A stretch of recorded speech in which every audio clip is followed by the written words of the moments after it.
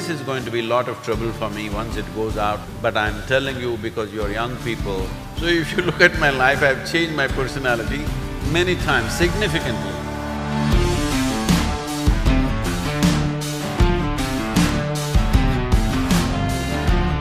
And now it is my pride and honor to welcome the one, the only, the lone motorcyclist across 27 nations through 70 days of being on road, riding through inclement weather and harsh terrains. Sadhguru arrived in India in Jamnagar, Gujarat on 29th of May. Since then, he has been traveling through towns and cities of Gujarat and Rajasthan to Delhi through Lucknow, Uttar Pradesh, and now he is here with us at IIT Kanpur today.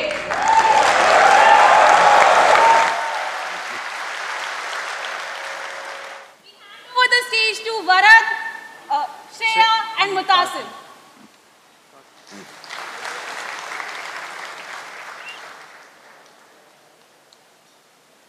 So, um, welcome Sadhguruji. Um, it gives me immense pleasure on behalf of the entire IIT Kanpur community to welcome you here. Uh, thank you so much for taking your time out coming here. Ever since the campus has received news of your arrival, we've received um, thousands of questions. We've been flooded with questions and we've uh, spent quite some time uh, deciding on um, selecting questions which cover the most ground. To begin with, um, so there have been the Save the Soil volunteers, we've seen them around campus for the past few days. We just saw an incredible video of the entire campaign. And uh, the fact that you're traveling 30,000 kilometers on the motorcycle across continents, through European winters, through Middle Eastern summers, I imagine it, it must be quite strenuous. I saw this video where there are people surrounding you and they're trying to touch your feet, and risky as well. So, uh, the question that came up was in this era where there are avenues for mobilizing the youth through social media, through the internet, what is the significance of you physically taking a motorcycle, taking this risk, and uh, riding 30,000 kilometers? Namaskaram… Well, last thirty years I've been talking about soil in its variety of ways. I've spoken to ministries, heads of state, various responsible people, youth. Everybody says, Sadhguru, this is fantastic, Sadhguru, this is great what you're saying, what you're doing, and then they go to sleep. So, uh, I've been looking at uh, what to do to wake up these people because they are capable of sleeping through a war. Yes. Uh, because uh, especially in India, since 1947, whatever wars have happened, because of the efficiency of our forces, wars have remained only on the borders. But I've been talking to many people, they believe wars are fought only on borders. no, war is kept at the border because of the efficiency of our forces. If they are not good, it will be here in Kanpur. Hello? So, uh, people have become like this, uh, they are able to sleep through just about anything. Is sleep a crime? Hello? Is sleep a crime? No. Sleep is not crime, but if you sleep through your life, you will be a disaster, and disasters are worse than crimes usually. Crime affects a few people, disaster wipes out civilizations. So right now we are facing that kind of a disaster, a possible disaster, if we don't do the right things. And uh, if we walk into it, many of us will not walk out of it, for sure. So it's extremely important that we mitigate the disaster, we turn back before we enter that disastrous space. So as I said, thirty years I've been talking about it, demonstrating it in so many ways with large-scale projects. All you get is silly questions. Even now, you're talking about thirty thousand kilometers. How much carbon monoxide does your vehicle produce?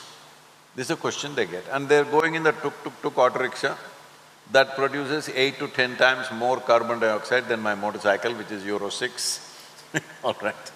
I'm saying this is the kind of silly conversations that will go on. So I thought I had to do something to wake them up. Can I walk thirty thousand kilometers? I will die for sure.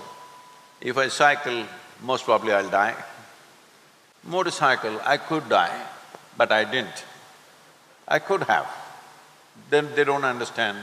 The people are uh, even talking about, you're riding a luxurious motorcycle. The idiot has no idea what is two wheels.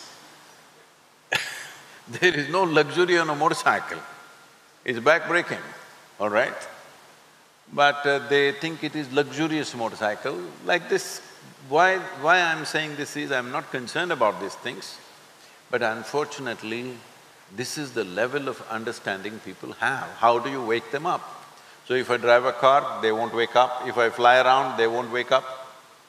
So I thought motorcycle is dangerous enough, it could kill me, but it didn't. So it's okay. so I had to choose that kind of a means which is dangerous because I don't hold any office, I'm not a minister, I'm not a chief minister, I'm not a prime minister, I don't uh, wear any military uniform or anything to have any kind of authority over anybody. The only thing is millions of people, they love and respect the hold for me.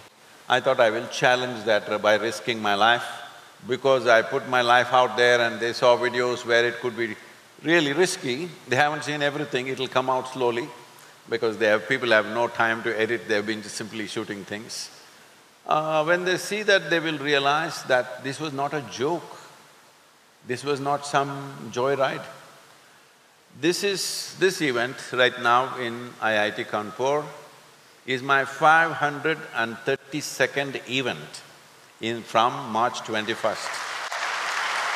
I want you to imagine how many hours of work that is. When I'm writing, almost all the time, I'm talking to media, interviews, social media, influencers, all kinds of things. And when you're talking a serious subject and writing, trying to get to the next event all the time, is not a joyride and it's terribly risky. So, the idea of risking my life was at least that should wake them up. And fortunately it has. Till today, over 2.5 billion people have spoken about soil since 21st of March, which has never happened in the history of this world. It's not happened, 2.5 billion people talking about soil.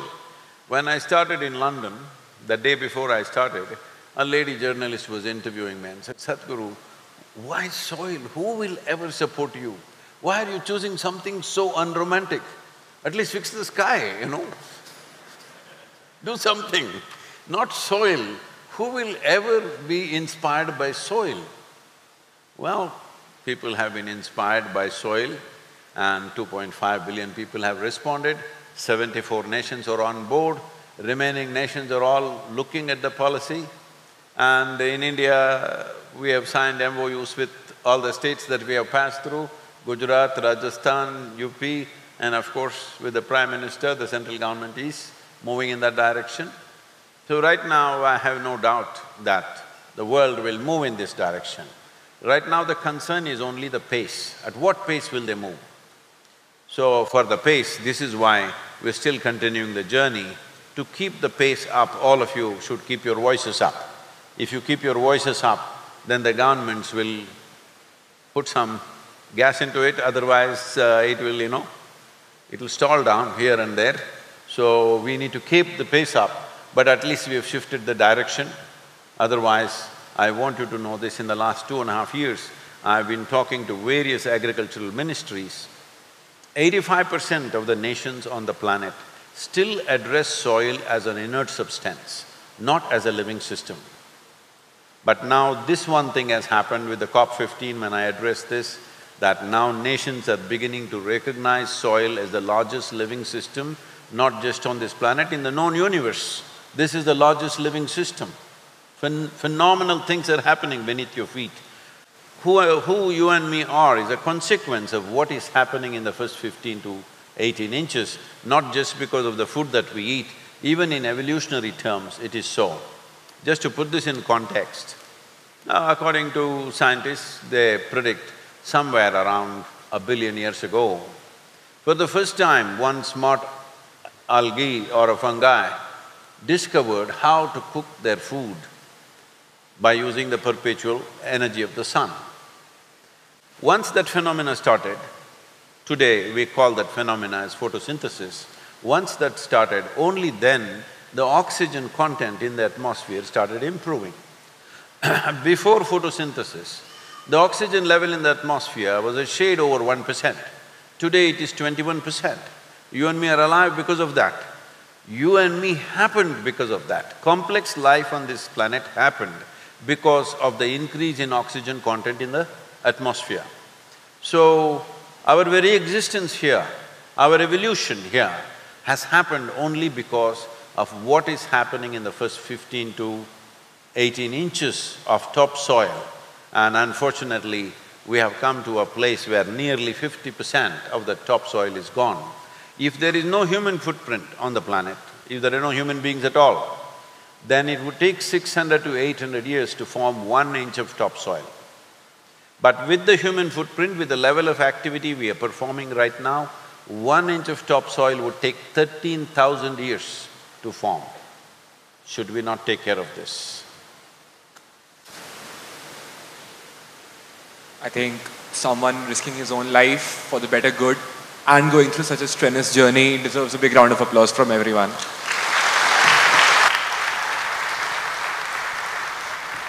So my next question would be, uh, the youth today is very aware about mental health and mental peace and also the problems related to it.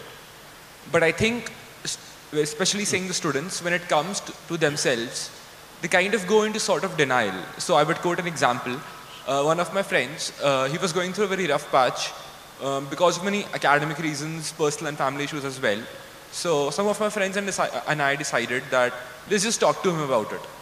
And we did talk to him about it at length. And in the end, we just said, we think it will be better for you if you consult a specialist or a therapist. But the moment we said it, he lashed out and got very offended.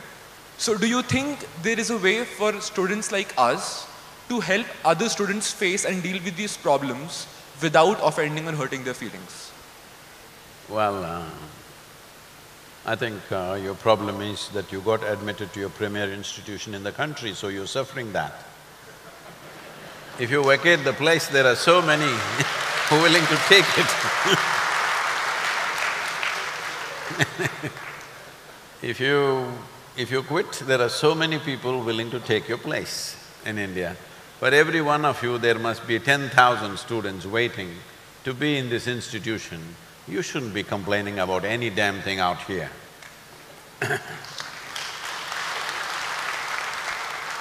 So, uh, mental health. See, unfortunately, in our country, it's become fashionable to pick up anything that comes from the West, good, bad, ugly. Doesn't matter what comes, we pick up everything from the West, particularly from United States of America. I think it's the influence of Hollywood and music and stuff like that, which is uh, such a significant influence. I mean, today if you look at any of the city population, if you go to Mumbai or Delhi or even particularly Bangalore, uh, if you only look below the knees of everybody, it looks like you're in California. Because everybody's in denims, even here, two of you are in denims, this girl is still Indian. I'm not against denims, I must tell you, when I was a youth, I… I lived in Levi's only. Even Wrangler was considered too bad for us, we won't get into Wranglers. Only Levi's. I lived like that. So I'm saying that is the level of influence it has on us. Simply, see, what these denims are is American workman's clothes, all right? But it has become the world's fashion, not just in India, just everywhere. Is it right, wrong? It's not for me to say, it's… uh, we were the ones who started in sixties, seventies, now you're still continuing, I'm happy that our fashion is still kept up. Because it was very hard to get Levi's pants, it… we had to… it had to be smuggled into India, you had to go to some… buy some Burma bazaar. You… you need a thirty-two inch, they have only forty-eight inches. you have to go and alter it for your size, all kinds of problems, okay? Uh, today you have your own stuff, you're exactly what you want. And uh, because of that, we would probably usually have only two pairs. And because we were riding all the time, the seat of the pant will get torn and uh, knee will get torn, so we put patches on it, leather patches on it, all kinds. But now you buy tone, pre pre-tone, but the thing continues. So this is not a commentary on fashion, but what I'm saying is, we are unfortunately picking up various attitudes which are negative to life. Mental illness. This is a very unpopular thing to say, already I've been attacked for this continuously and trolled continuously, but uh, I'll tell you the truth, whether you like it or you don't like it, if you want to troll, you can troll, if you want to realize, you can realize. See, there is this. you know, according to the genetic scientists, they say the difference, DNA difference between you and a chimpanzee is only 1.23 percent. 1.23 percent, do you pass any subject in this uh, institution? Hello? Teachers, professors, do you pass anybody for 1.23 percent? No. 1.23 percent is not much of a percentage, isn't it? But that is the DNA difference between you and a chimpanzee. So physiologically, that is how close we are to a chimpanzee. But in terms of intelligence and awareness, we're worlds apart from a chimpanzee and this is our problem. We have an intelligence for which there is no stable enough platform unless you work on it. Because there is no stable enough platform, your own intelligence freaks you every day in and day out. You can give it… it seems I was talking to some top psychiatrist in UK and they were saying there are seventy-two varieties of psych psychological ailments. One of them happens to be compulsive nose picking. I was surprised, but it seems nose picking is one of the uh, psychological ailments. So there are seventy-two of them, you can choose which one you want, I don't know which one your friend chose. But essentially, your intelligence has turned against you. You understand what I'm saying? If your intelligence was working for you, would you torture yourself with your own intelligence, I'm asking? Your intelligence is here to make this wonderful. But right now, your intelligence is working to make this horrible. Should we address this in a fundamental way or should we pussycat around this and say, give it all kinds of names and this and that? There are some people who are unfortunately pathologically ill, that's a different matter. Most other psychological ailments, if you are willing, only if you're willing, if you're willing, you can turn yourself around. But with both even physical and psychological ailments, lot of people like ailments because they get a lot of attention when they're not very well. But what is the use of that attention? You can live without such attention. Hello? See, this is developed from childhood.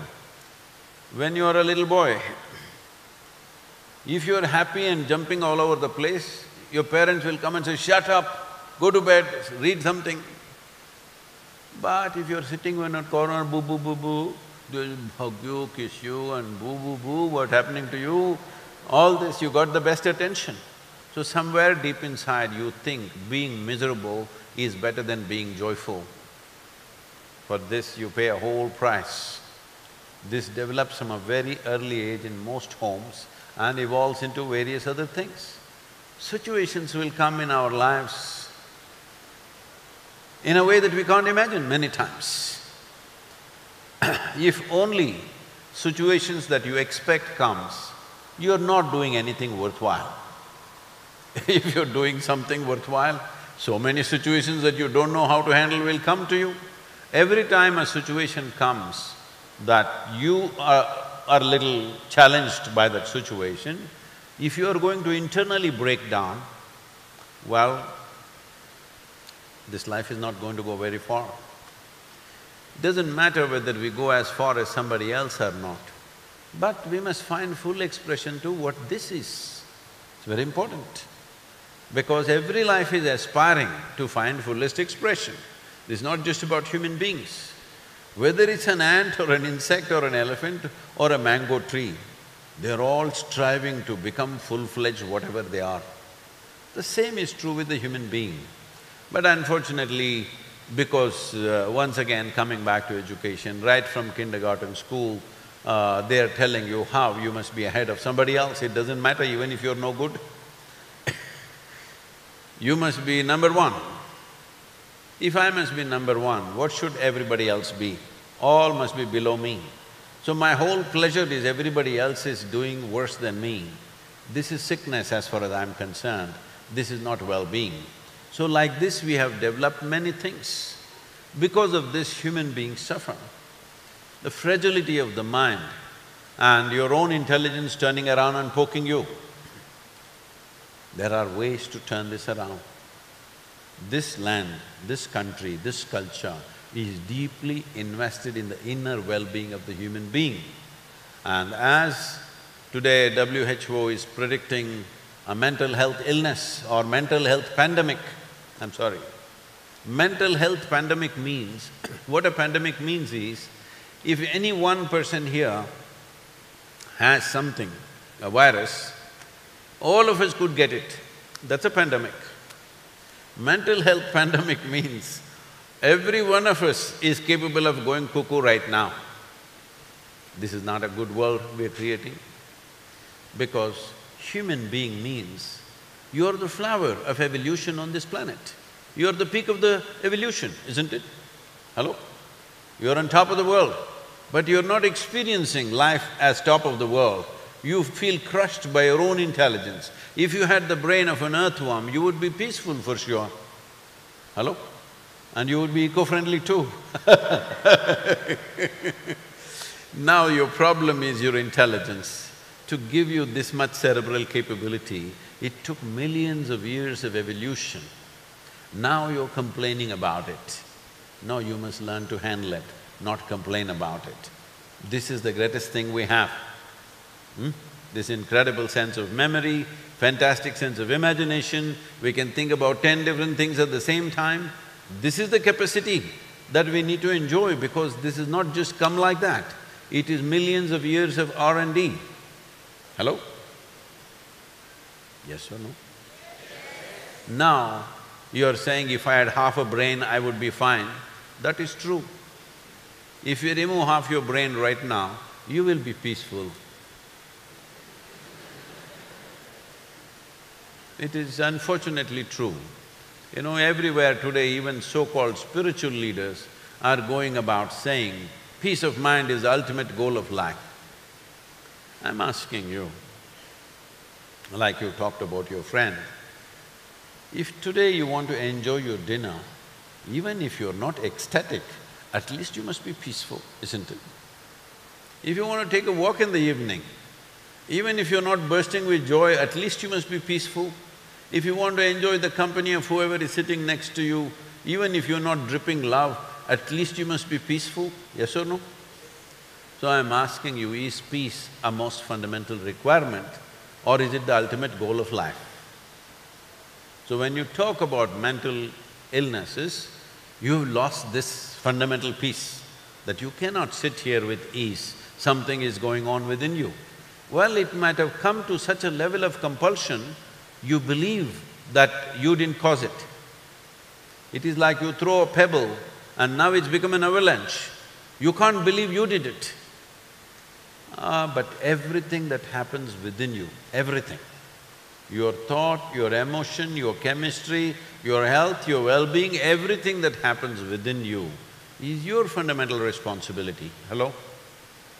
What happens around you, there may be many forces. What happens within you is hundred percent yours, isn't it? If you don't see that, you will never fix it. If you do not understand the way I am right now is entirely my responsibility, this is what… this is why this culture is significant because this is a… this may be a little shocking for people and uh, again people will get me into controversies, which I don't want right now with Save Soil going on. But what can I do? what can I do? See, this is a godless country, you must understand this. This is the only nation and only culture on the planet. There is no one man sitting up there and managing your life. Eh, this is a culture where we always told you, your life is your karma. Karma means action, your action. You're doing physical action, psychological action, emotional action, energy action, you're doing something and you're doing something wrong. If wrong results are coming, you're doing something wrong, maybe you're not aware of it. If you have… if somebody is saying nose picking is a ailment, maybe your nose will bleed one day because of excessive picking. Hello? So if you say this is an ailment, well, anything can be an ailment. You can make anything into a sickness. Eating can be a disorder, eating disorders are there, right? Somebody eats too much, somebody doesn't eat, somebody eats and pukes, all kinds of things. You're supposed to say, all this is right, you know, this… everybody has a right to be sick. Of course, you have right to be sick, you have right to die. I know that. But life is about being healthy, exuberant, full-fledged, taking this life to its fullest possibility. That's what the life is longing for. What opinions you create in the society is different, but every life, human or otherwise, is longing to be full-fledged, isn't it so? Huh? Life wants fullness. Life doesn't want ailments. Ailments today we are making them normal. This is going to be a lot of trouble for me once it goes out, but I'm telling you because you're young people, it's very, very important that your intelligence never turns against you. Once your intelligence turns against you, no force in the universe can help you, nothing can do anything to you, because once your thought, your emotion, your own intelligence, your own chemistry turns against you, there's really nothing to do.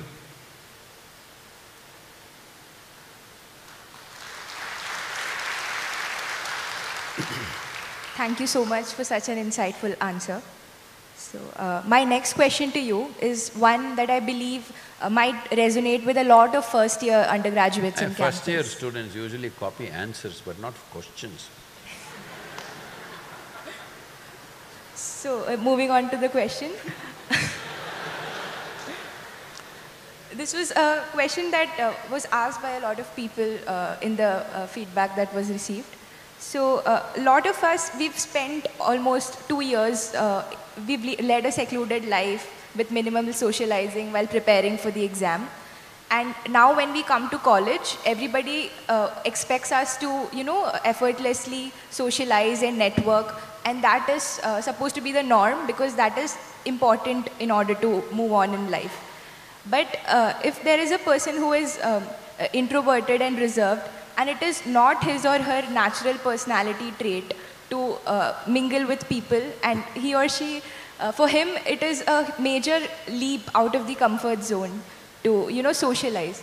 So should such a person uh, make conscious efforts to network and socialize, or is it okay to be comfortable in one's own skin and be at peace with oneself and be happy with the personality that you possess? You use the the word personality three times in this question. The word personality comes from the source word persona. Persona means, in the Greek drama, they would have a mask which is held with a handle like this. Now, uh, let's say you're playing Ramayana. You're only Rama, you're only Sita, you're only Hanuman, you're only anything because there are no so many actors, there's just three of you but playing uh, twenty-five roles. So you have a Rama mask, you hold that and talk like Rama. You have a Hanuman mask, hold that and talk like Hanuman. So this was the Greek drama. So these masks was called persona. So holding it on your face and playing that role and then keeping it down is perfectly fine. But if you held it on and it got stuck to your face and you became Hanuman, you can worship him, but that you don't want to be a Hanuman, isn't it? Hello? so if Hanuman mask got stuck to your face, then you don't like it. Right now, that's what you're saying. I have my own personality. I want you to understand, Your personality is created by you. Whether you crafted it unconsciously or consciously is the only question. Maybe parts of it is conscious, parts of it is unconscious for most human beings. But how much of it is conscious will determine how much freedom you have, of which way you wish to be. So, do not first assume that personality is some God-given thing and it's stuck to you. You can change your persona whichever way you want, whichever way you want. I announce beforehand, three years later I'm going to change my personality, beware all of you who know me very well, be careful because when I change my persona, don't think you… I've lost it, I'm going to change it, don't lose it, hang on tight because when I change, you will think something has gone wrong and fall off. I warn them two, three years ahead of time. In spite of that, some people fall off because they think suddenly something has gone wrong. So if you look at my life, I've changed my personality many times, significantly, because the activity was different and I was pushing myself into a different level of activity, I needed a different persona.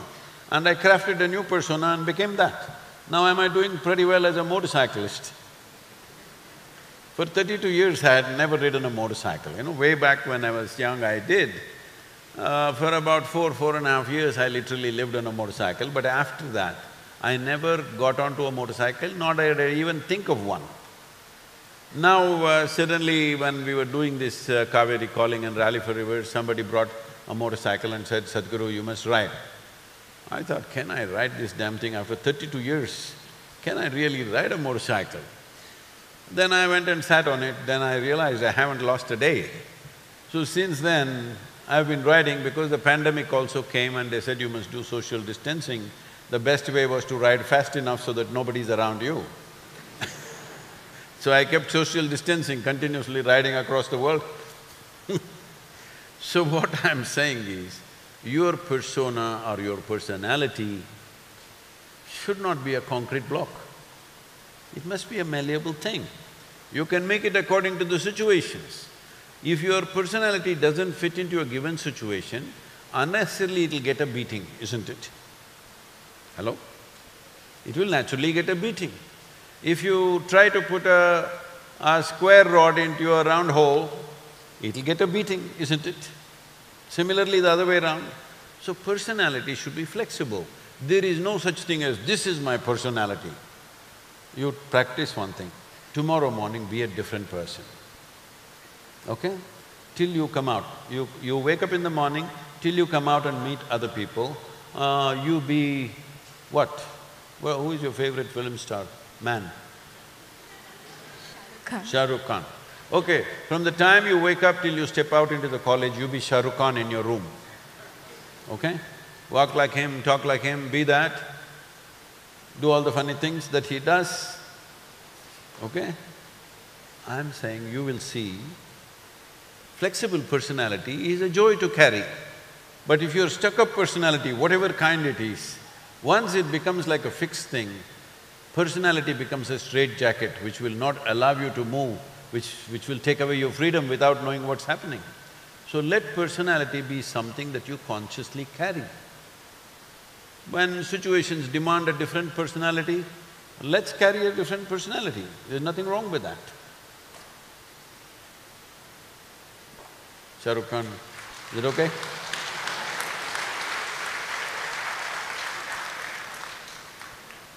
So Sadhguru, um, before I ask my next question, I'll try to relate it to two things you said up till now. Um, so you spoke about how this entire system of hierarchy is pathological, where you say, I am first, everybody is below me. And you started off by reminding us that we are in this prestigious institution and we should not have much to complain about. But it often is the case that this hierarchy emerges most strongly in these prestigious institutions only, because the mechanisms for filtration are that, um, are that strong. So, this is a question I've gotten from uh, a lot of people in the feedback we received. Is this realization they're getting after coming to IIT, where whatever it appeared to them from the outside is not what they were expecting when they came in? They feel that they, they, so a lot of my friends, they go through this phase where they talk about how all their ambitions, ideas, ideals up till now have been borrowed from, from social conditioning, from their parents, etc. And uh, uh, my, my friend asked me this question and he summed it up this way. He said, I don't think there is anything I can call mine. And so, uh, the question, I think, in, in brief, what, what the question I'm trying to ask is, is this, we have this, these cliches notions of a true calling, of this authentic uh, self. So, can you, can you tell us what that would mean in a spiritual context and in the context of uh, a youth uh, today? See, this whole thing uh, of uh, calling, because now the calling in 21st century has been slightly tweaked by people because they feel a little embarrassed about the original calling. Calling essentially means God is calling and telling you what you should do. That's where the word comes from. I have a calling means God is calling me and telling me, become an engineer, when he himself was not. so, uh, this comes from a religious context where people say, I have a calling. Once again, it's very foreign to… in the Indian context, but we have taken it up because today we have come to a place there is nothing specific that we can say Indian, it's gotten all mixed up. We are a kaleidoscope of many things. It's okay. so, this aspect of I came to IIT thinking something it's some hallowed space, it is not like that, just ordinary people teaching some silly subject. We thought something, some… that we thought the professors will come with a halo, but they don't even have hair. so this kind of disappointments are there. So I want you to understand this. See, if you were interested in engineering and you came here, you wouldn't feel this way. You were interested in a social stature and you came here, now you naturally are disappointed, you should be. Actually, there should be an ejection system in the first year, is there? Those who come with social callings, they're all ejected uh, if you genuinely wanted to become an engineer, engineering is fascinating for you, then you would find many ways to make your stay in IIT very interesting and growing process for yourself. But you came here thinking if you come here, the whole world will bow down to you. Well, such a thing did not happen and I'm glad it's not happening because just because you entered an institution or you fell out of one, if the world starts bowing down, that world will not go very far. If you become a great engineer, people will bow down to you, that's a different matter. So, I think entering any place for wrong reasons always gives you this thing. This happens with an institution, this happens with a job, this happens with marriage. Hello? Because you got into the, those things for wrong reasons. Out of your love for somebody, if it happens, then it would be different. You thought by this you will get something else, then you will be disappointed. The same thing with this institution. This is not… this institution did not drop down from heaven or something, this is human beings built it and uh, of a reasonable standards, better than most other things that we built in the country. So, only if you want to become a good engineer, you're really passionate about becoming an engineer, engineering has fascinated you, then this would be a nice place.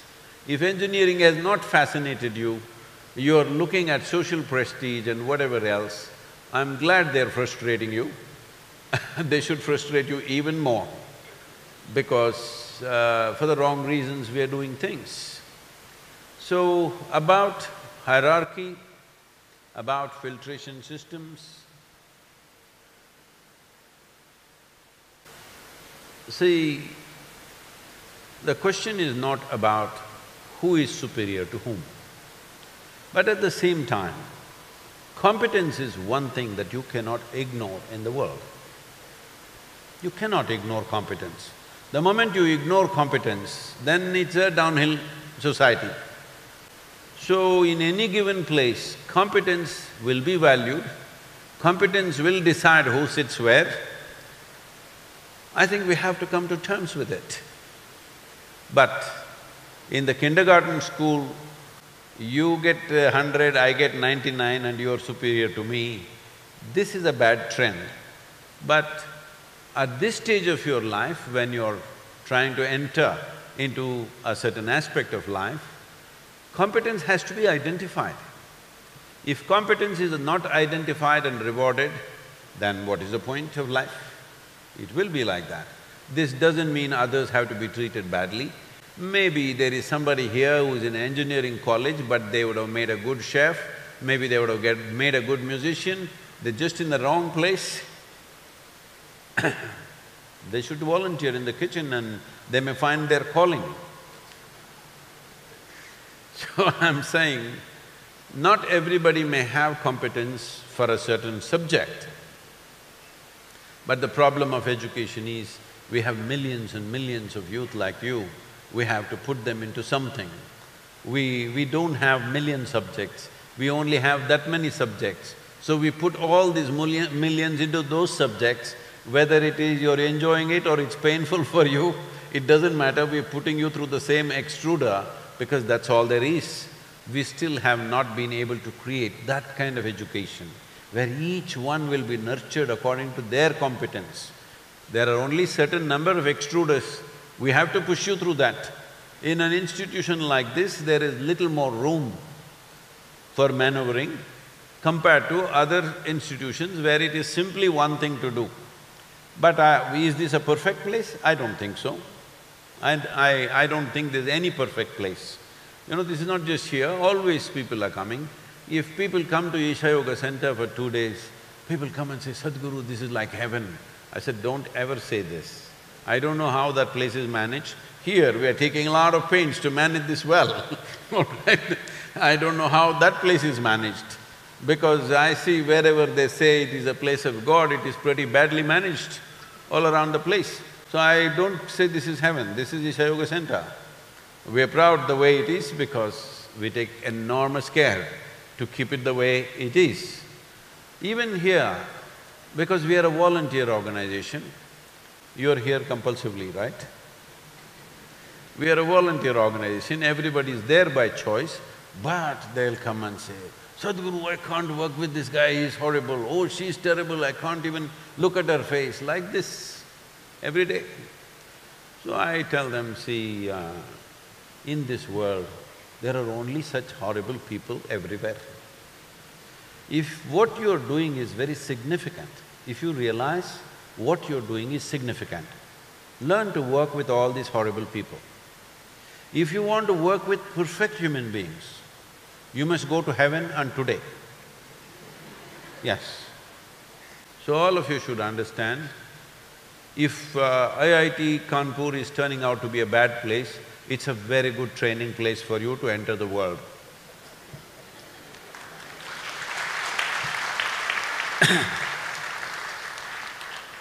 So Sadhguru, as you said, that uh, since everybody has a very different, uh, you know, skill set and there is no set course or job profile that would uh, tailor fit that particular person.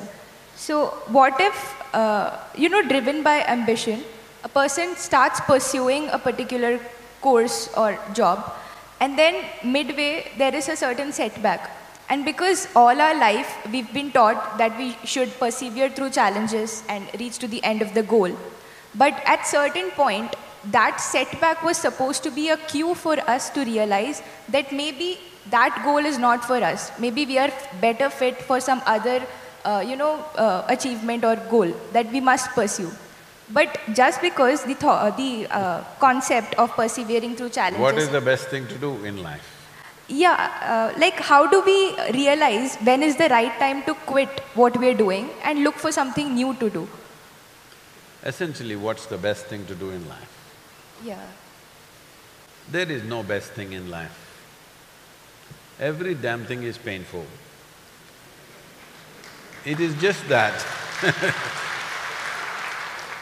It is just that if you if you realize even a small thing that you do, if you put a larger vision to that, it'll become very significant. Once something is significant, there is a certain joy in fulfilling that. Is that the best thing? No.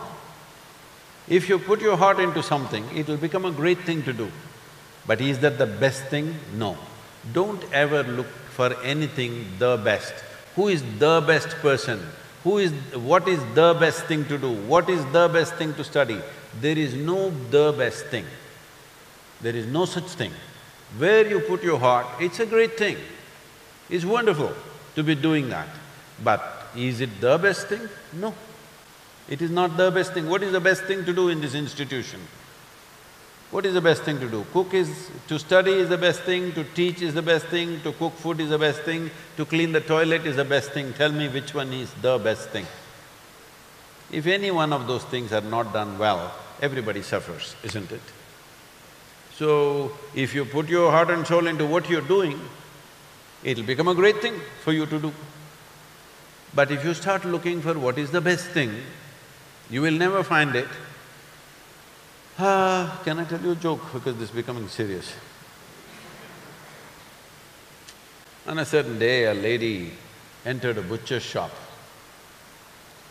and all these chicken were hanging, you know, upside down, dressed. See, for the chicken, their feathers are their dress.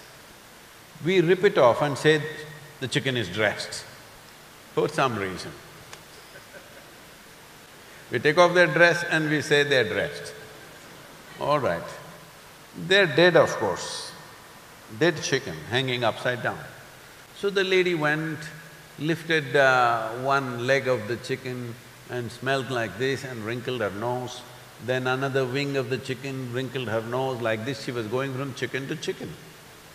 And it was having an impact on the other customers.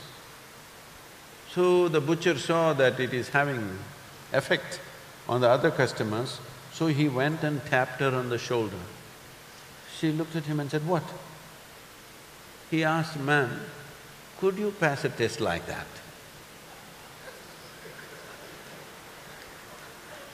So don't go on putting other people to tests that you yourself cannot pass.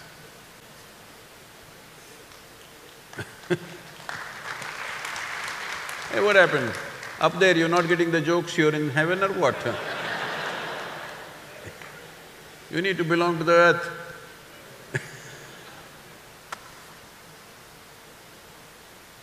Thank you, Sadhguru. you got the joke.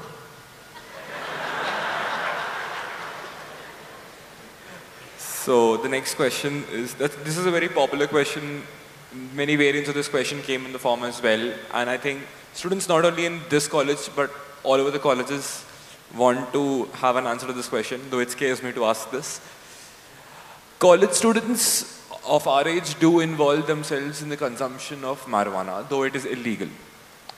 Uh, but, and that doesn't seem to affect them that the, it is illegal. But if it is legalized, uh, there would have been more factual data available on its consumption, who is consuming it, in what amounts, when, what frequency, what age. Plus, it would be a better revenue source for the government as well. And many states in the United States as well have legalized the consumption of marijuana. So, do you think marijuana as a drug should be legalized in India? Uh, see, we can legalize everything. Why just marijuana? Because once we legalize marijuana, the cocaine fans will come and say, why not cocaine? Uh, there are others, there are those MDX people, they will ask for that. There are meth people who, who do it in their own room, they will ask for that. So why not legalize everything at once? What is the problem? No problem. It is just that, as I already mentioned, if you… if you pay attention, you would see an ant is striving all his life to be full-fledged ant. A mango tree is striving all its life to be a full-fledged mango tree. This is the nature of life, this is not a philosophy. The nature of life is every life is doing its best to be what best it can be within its scope. But If you're talking about intoxication, it doesn't matter, I'm not even looking at whether it's legal or illegal, whatever it is, whether it's alcohol, marijuana, this one, that one. Legality is not the question, what is legal doesn't become right, what is illegal doesn't become wrong, okay? That's a different matter. So, we're talking about essentially intoxication. So I was in Bangalore, a similar question was asked. They're all inviting me for under twenty-five conferences because they think I'm under twenty-five for some reason. so, like uh, it's an open-air uh, meeting, over fifteen thousand students are there and strong smell of marijuana and uh, openly in the center of the city, all right? And uh, they're asking, Sadhguru, you have so much influence in the government, why don't you get marijuana legal? So, uh, let me tell you what I told them. See, right now, it's called… you… you also use the word smoke up? Smoke? It's the set terminolo the Okay. terminology, I guess. Okay. Smoke means tobacco, smoke up means marijuana, smoke down means what? No, nothing, okay. See, uh, do one thing. I will smoke up nicely. You sit with me on my motorcycle. I will hit 250 kilometers per hour. Are you okay? I don't think so. No. Because you understand, my competence levels will go down the moment I'm smoked up. Yes? So don't call it smoke up. Don't call it high. You get low. You can't see better, you can't handle things better, your competence goes down. See, tell me, will life get enhanced by enhancing one's competence, by enhancing one's… If I can see better than you, right now I can. I'm… I'm riding through the night, in the middle of the night with glasses on. People say, Sadhguru is not dangerous. Well, twenty… nearly twenty-four thousand kilometers I've survived, so it… I don't think it's dangerous. What do you think? In all kinds of terrain, because I can see better than you. It's very difficult for people to understand this. Of course, they'll say there's no science like that. It is fine. For you, only if it's written in the textbook it is science, it's very unfortunate. Before the textbook, there was science in the existence. So, right now my vision is like that. I'm sixty-five, I should be wearing spectacles, you are, I am not. I'm wearing colored glasses and reading in the night. Because I'm really up but not smoked up, I'm really up. I can sleep for two, three hours a day and night and be active for 20, 22 hours a day, non-stop. Well, tell me which is high. I'm high or when you smoked up, are you high? You're lowering your competence and you're saying, I am high, which is an unfortunate reality. See, it is like if you are cooking, in your kitchen, salt is marked as sugar, sugar is marked as salt, you know what kind of cooking you will produce? That's what will happen to your life. At least you say, I want to be down, smoke and sleep, or smoke and sit like this, all right? But don't say, I am high. You're not high, you're low. If you don't… if your intent is to be low, go ahead. I'm… Because I'm not somebody who looks at life in a moral terms. I'm looking at life in terms of life. Life wants to be high, isn't it? Life doesn't want to be low because it's a very brief amount of time. You're still… all of you are young, you may not even think about it, but I'm telling you, as you sit here with me, you're one hour closer to your grave. So am I, of course. Yes or no? Time is ticking away for all of us. If you're conscious that life is such a brief happening, do you want to be intoxicated or do you want to be invigorated? Which way is it? It's your choice. Legal, illegal, doesn't matter. What is the choice of life? What is the natural choice of this life? It wants to be high in every possible way. To cover your incompetence, you want to call low as high. No. Suppose you want to go through… you need to go through a surgery. Now the surgeon comes smoked up. Shall we open you up? Well, he'll pull out your kidneys instead of liver because you won't know the difference. so I'm saying, people will say, oh, it's not like that, they're, whole, they're evolving a whole science about marijuana, about how marijuana does this, marijuana does that.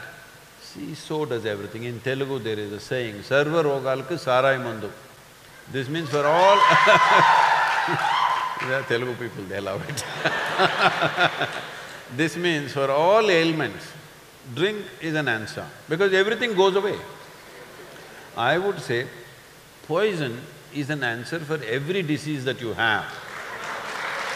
Because once you are dead, you will not have any ailment. This is the advantage of death. So I want you to know whether you sleep for eight hours a day or you get drunk or you get smoked up, one way or the other, if you are not in an invigorated state of life, you are wasting your life. Even if you're simply overeating and sleeping, or you're marijuana, or you're alcohol, it doesn't matter which way. If you sleep eight hours a day, one-third of your life you're going to sleep off, isn't it? Twenty-four hours is all you have. I'm seeing how to stay awake. I've spent almost 25, 26 years with an average of two and a half to three hours of sleep. These days getting little lazy and sleeping three and a half, four, and, four, four and a half hours at this stage in my life. But uh, if you… apart from natural sleep, if you want to go into more intoxicated states where you don't know who you are and what you're doing, well, I'm not looking at this morally, I think it's wasted life because you must be alive, as alive as possible, not less alive. Anything that makes you less alive is anti-life, isn't it? So shall I do cocaine, Sadhguru? It makes me more alive. It's fine if you can produce your own, not in your laboratory, not in your kitchen, but within your system, because this is the most complex and sophisticated chemical factory on the planet. Do you agree with me? The question is only, are you a great manager of this factory or are you a lousy manager? That's all the question is. If you were a great manager of this system, would you produce chemicals which will keep you blissed out or would you produce chemicals which keep you miserable? Which way is it? So instead of taking charge of this, you're doing all kinds of mess. Inefficiency, that's all I'm saying. I'm not against marijuana, but I am against inefficient life because time is so brief. When time is so brief, we must do the best we can, isn't it? In our lives, if we do not do what we cannot do, there is no problem. But if we do not do what we can do, we are a disastrous life. And that is the… that disaster will unfold when you invest in intoxication. Because if you want to be intoxicated, I'm not showing my eyes today, but if you look at my eyes, I'm always stoned. No substance, because this is the most sophisticated chemical factory. If you keep this well, you will always be like this.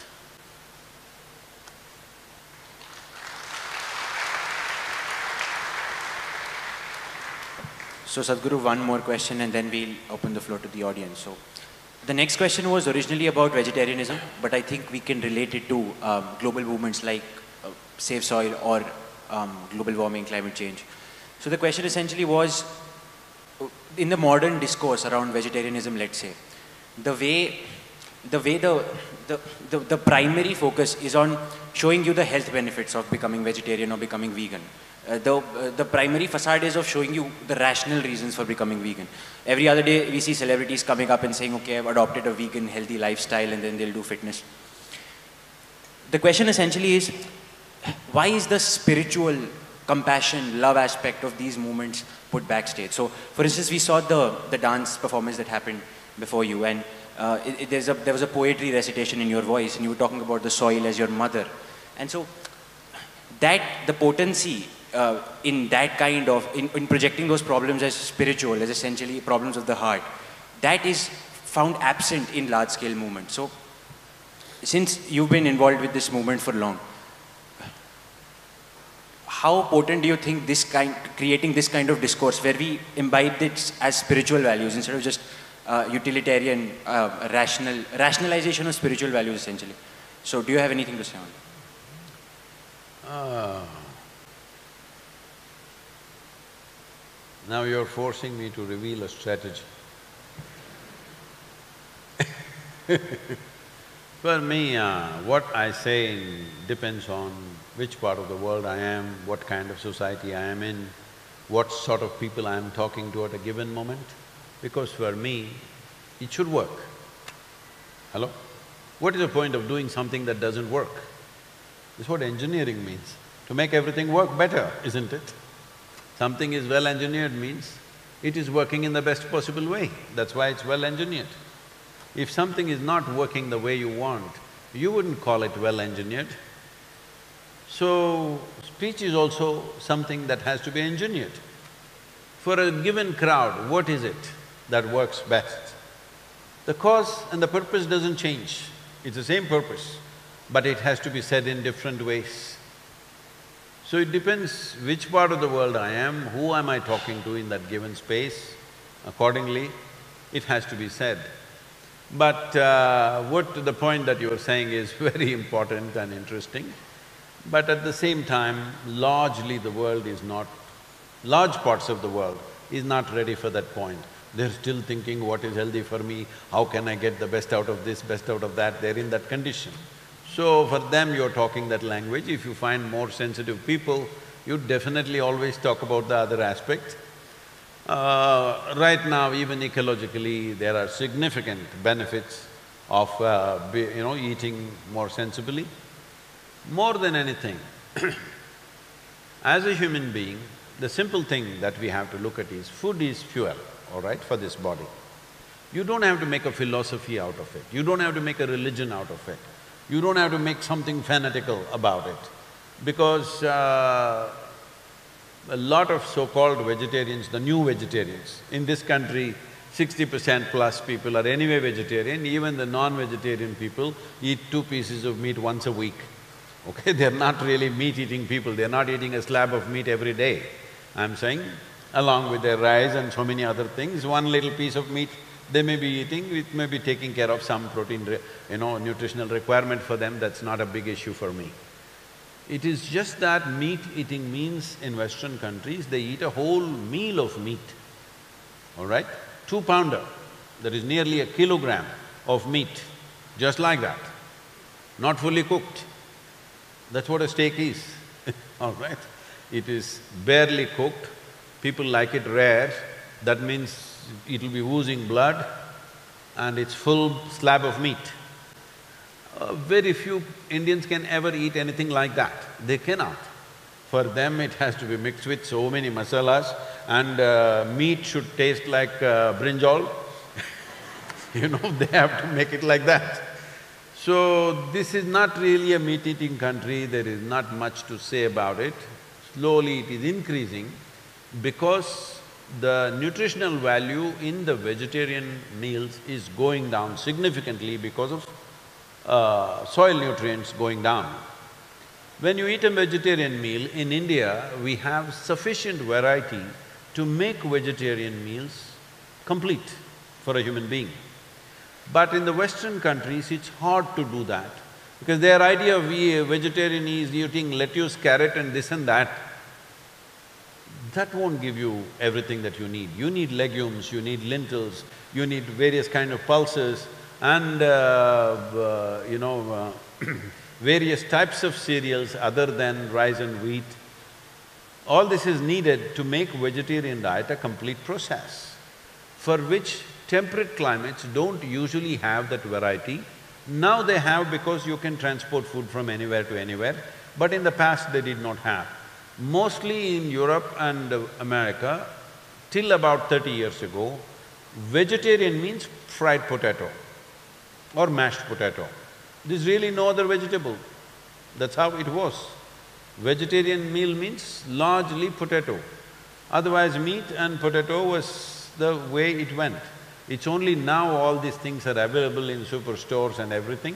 So they are going vegetarian now and they're very excited about it. It's nice that they're getting excited about it because uh, that excitement has many ecological benefits for the world and other creatures. It is definitely for whatever purpose, see, it doesn't matter for what purpose I did not cut your throat, it doesn't matter. I didn't cut your throat, that matters to you, isn't it?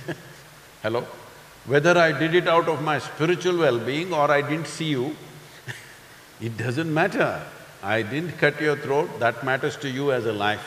So for all those lives, it doesn't matter for what reason these people did not cut them up, because on a daily basis, about two hundred million animals are being slaughtered per day.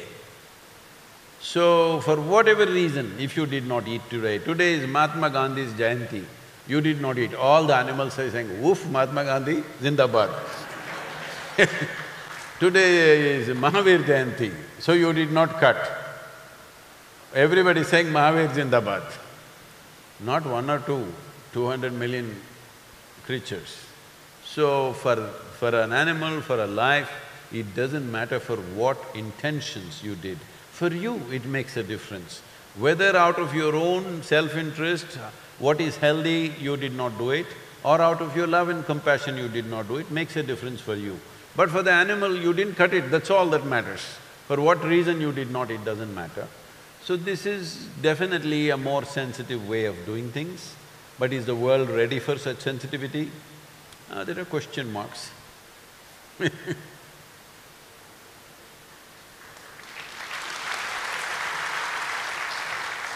So we're done with the questions that we have, but I'll open the stage to the audience if they want to ask something or they have some questions. Okay, that hand by the projector.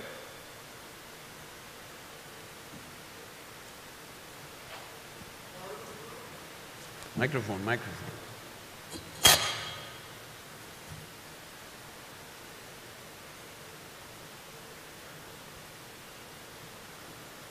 Hello. Uh, first of all, namaskaram, sir. Where are you? Here. Here means where? Oh, uh, Uh, can you hold on a second? He said first, so we'll take his question first, then we'll go on to you. Only if you speak it works. Namaskaram, Sadhguru. uh, Sadhguru, uh, this is on more, more on the spiritual side.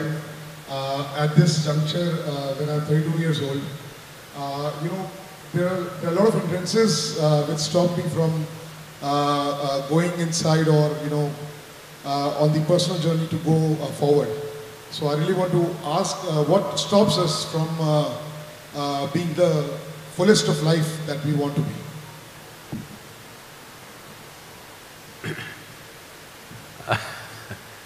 As I said earlier, it's an evolutionary issue. You have an intelligence for which you don't have a stable enough platform. If you do not create… create a stable platform, your intelligence itself will freak the hell out of you. You may become diagnosed as mentally ill or not, but whether diagnosis happens or not, suffering will happen. Some will get diagnosed, few will get diagnosed, most other nutcases are never diagnosed. They live around you, including you. Hello? Different kinds of problems.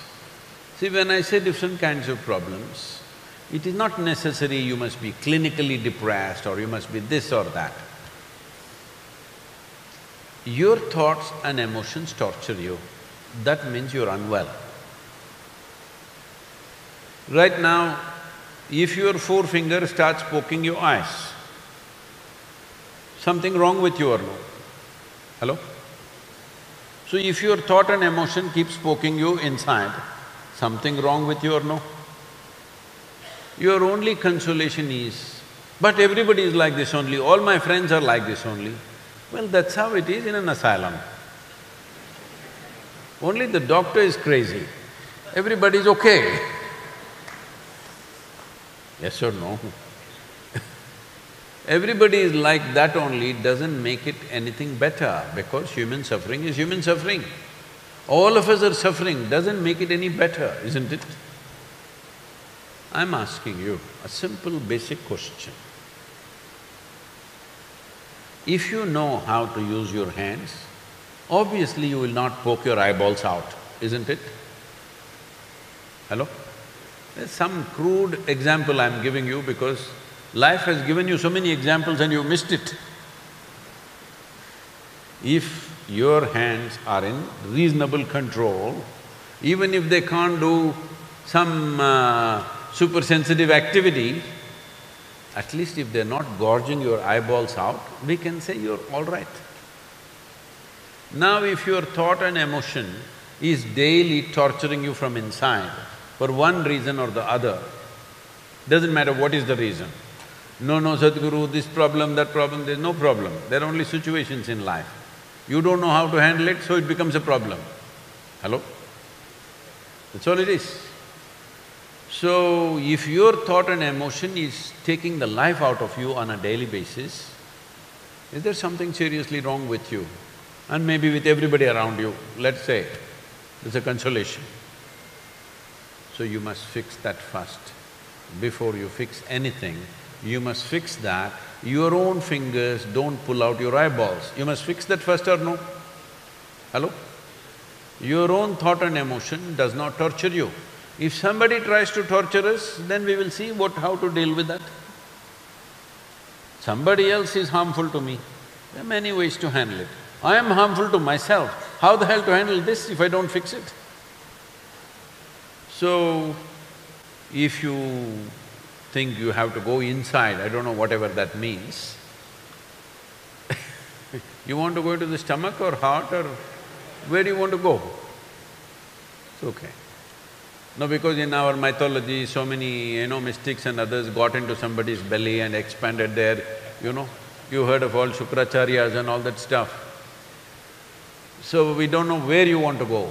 But one important thing you need to understand is all your faculties of your hands, your feet, your eyeballs, your ears, your thought, your emotion, your memory, your imagination must work for you. Hello? must work for your well-being. If that is not happening, then you must stop every damn thing that you're doing before you cause too much damage to yourself and the rest of the world. Come to the yoga center, we'll straighten you out.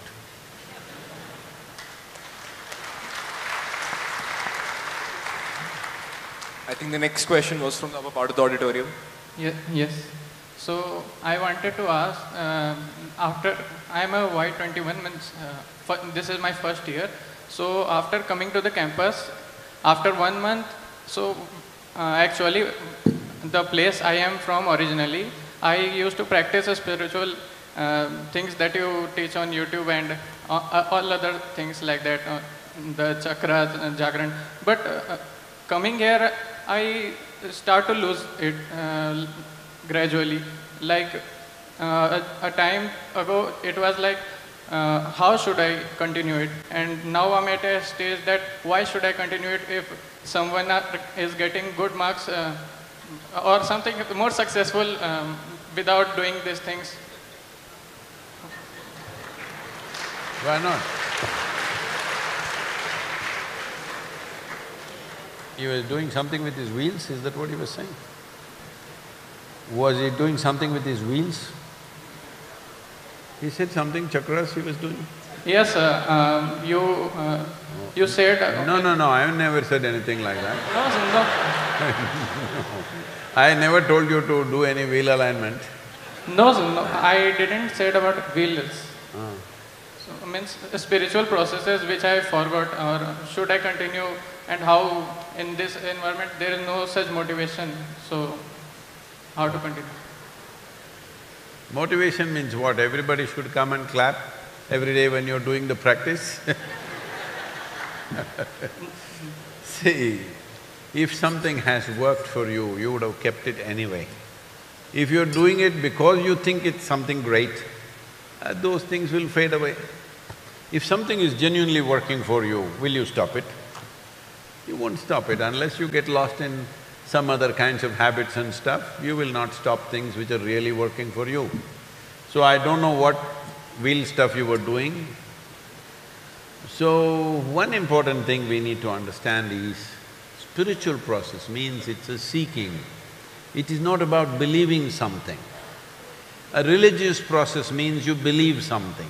Spiritual process means you seek. If you want to seek something, you become a genuine seeker only and only when you realize, I do not know, isn't it? I know but I seek. Is it possible? You're a vested interest. You can only seek, genuinely seek, when you realize you genuinely do not know. I do not know is a tremendous possibility.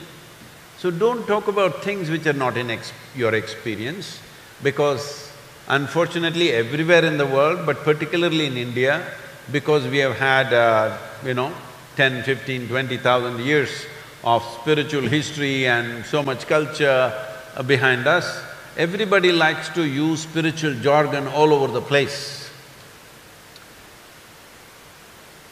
Can you bring this much sincerity into your life, all of you? What I know, I know. What I do not know, I do not know. I don't have to deny what I do not know, I just don't know, that's all. Is that okay? Hello? So I What- think what- we have time for just one more What- question. no, no, no. Only the professors are clapping, I'm worried about this. what I do not know, I do not know means only professors are clapping, all the students are sitting like this. There is something wrong here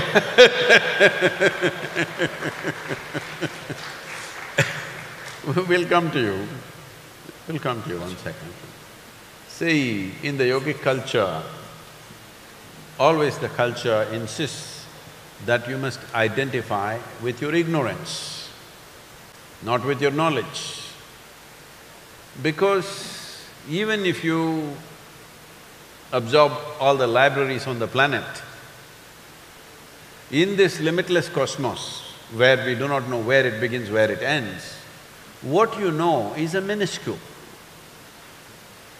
Whatever you identify with, you generally become that. See, now you say, I'm an Indian, how? Just identified with that, isn't it? Whatever race, religion, caste, creed, nationality, gender, everything is an identity. If you identify with something, you become that. If you identify with your knowledge, you will become a minuscule. But our ignorance is boundless, isn't it? If you identify with your ignorance, you will become boundless. So, do not talk about anything which is not in your experience. Because whether it is God or soul or chakra or this or that, do not utter things that you do not know. I do not know is a tremendous doorway. If you destroy that doorway, you will only have imagination going on, hallucinations going on.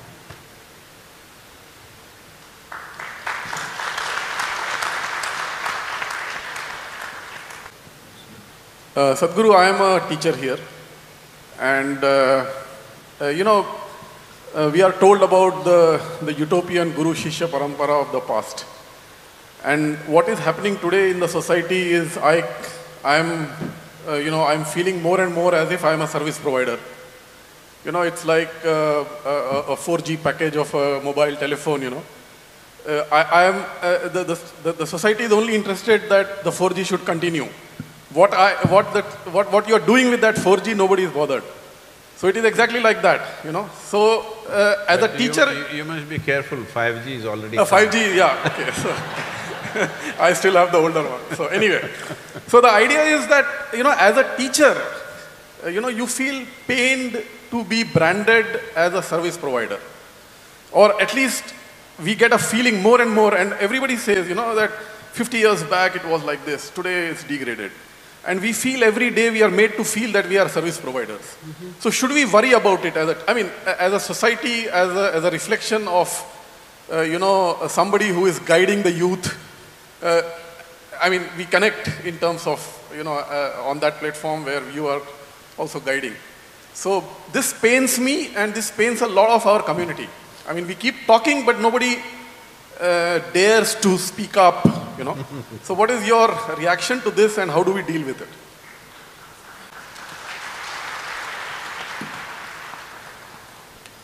See, uh, if your intent is only to deliver a certain amount of information, you must be worried because your job will not exist for too long, the way it's been defined right now.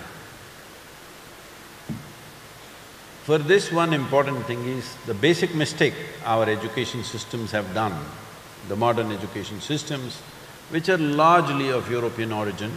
It may be done in so many styles, but essentially our education system is European in origin, which is valuing information more than attention.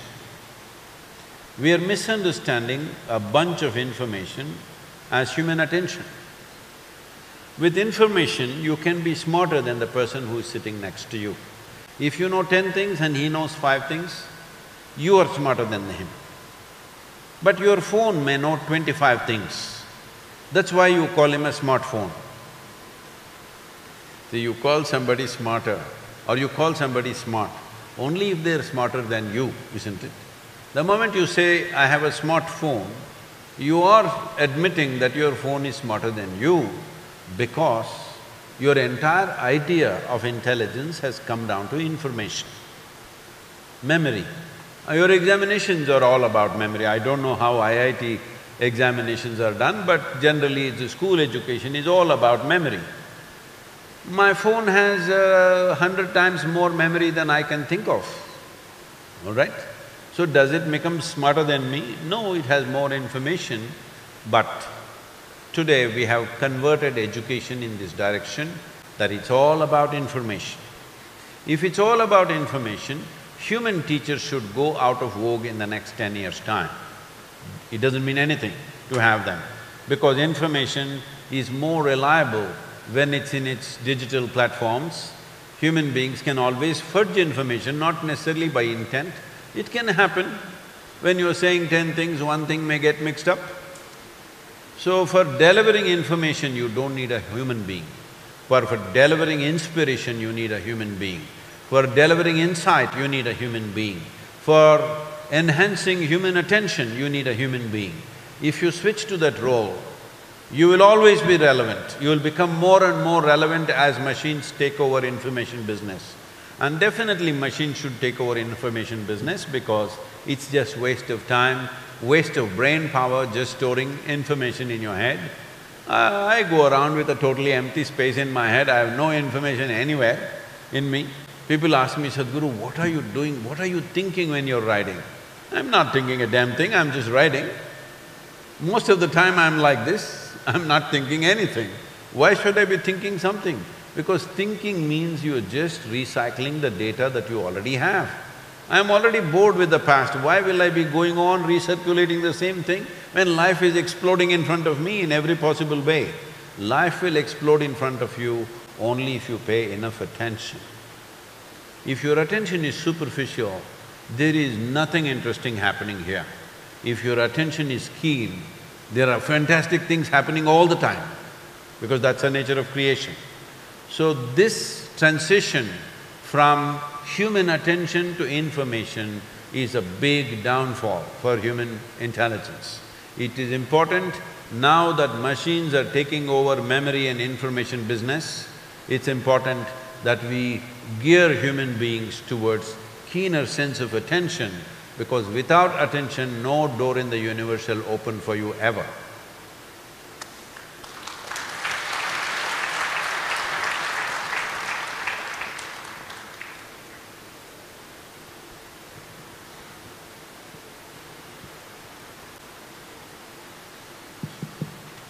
Uh, so that's all the questions we have had for today. It takes two engineers to make one microphone work. We went on standby, so we had to switch it back on. No, it's okay, you're in the first year, so it's all.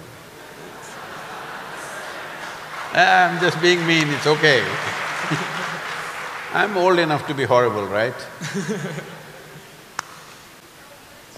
She will… Sadhguruji, I, my love for you has no bounds, Sadhguruji. I've been following you since ah. ten, ten years. And, I and almost- Sadhguruji, What did you do? since I almost- November, Sadhguruji, I I've been sending proposal. I love you, Sadhguruji. I have a shawl for you. I have a shawl for you. Would you accept it? I designed it. I designed it personally for you. Would you accept it, Sadhguruji? I, I will, but I almost fell off the chair. I fell off Delhi. You ask them, I fellow Delhi. 2004 hours, you are inside me, Sadhguruji. I can't tell you how you are just, you are Aham Brahmasmi, Sadhguruji. I love you. Would you accept my shawl, Sadhguruji? Yes, ma'am. Yes, ma'am, I will take. Thank you, Sadhguruji.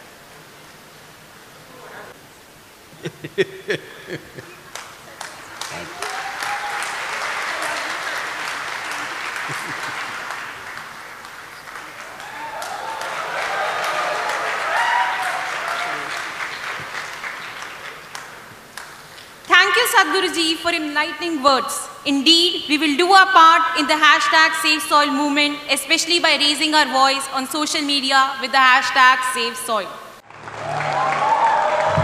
This uh, Save Soil movement is, uh, as uh, your, uh, the girl already spoke about this, but I want you to know this and remember this, that this is not a one-day's flirtation. This must become a lifelong love affair. This is not in resentment, this is not in anger, this is not a protest, this is not an agitation. This is an expression of our love and responsibility for the life that we are, the life that's around us, and the life that should be beyond us. Thank you very much for having me here. My body, your body, everybody is just soil body.